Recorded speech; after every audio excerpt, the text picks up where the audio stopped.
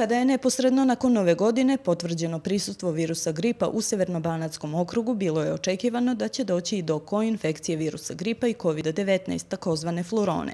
Zavod za javno zdravlje u Kikindi uzeo je uzorke kod 10 osoba u tom gradu, od kojih su pet bili COVID pozitivni. Jedan uzorak pokazao je očekivano. Dobili smo eto, potvrdu da je došlo kod našeg sugrađanina do koinfekcije, odnosno istovremene infekcije ova dva virusa – Radi se o mlađoj muškoj osobi koja je imala blaže simptome bolesti, tri dana imala temperaturu, posle nešto malo glavobolja, ali ona se sada dobro osjeća, čak je zatvoreno i bolovanje i osoba se vratila na posao.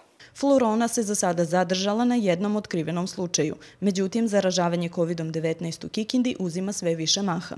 Trenutno u Kikindi imamo negde oko 800 aktivnih slučaja, dnevno se potvrdi nešto više od 100, E, još uvek smo u nekom uzlosnom toku, tako da svakog dana registrujemo sve veći broj obolelih. Epidemiolozi ocenjuju da je ovaj talas najviše zahvatio decu školskog uzrasta. Tako se visoke brojke beleže i u Kikinskom dečijem i školskom dispanzeru. Prošle nedelje smo testirali 198 dece, od toga je bilo 101 pozitivno.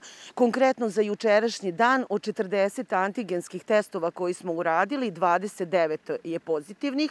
Dalje su ostali poslani na PCR pa ćemo videti za detaljnije podatke. Situacija u Kikinskoj opštoj bolnici još uvek je pod kontrolom. Na infektivnom odeljenju trenutno je 19 COVID pozitivnih pacijenata. Niko nije na veštačkoj ventilaciji, a nema ni hospitalizovane dece.